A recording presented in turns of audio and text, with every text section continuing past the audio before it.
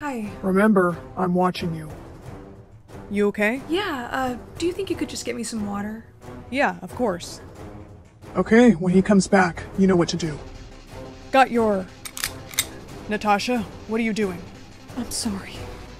Don't do this. I don't have a choice. You have five seconds to take the shot. I don't know who's making you do this, but you always have a choice. Do it! Three, two, one. No! Run. Guess I'll have to do it myself. Say goodbye to your freedom and your little boyfriend. Wait! How could you? You wanted 50 kills? Ugh. Well, you got it.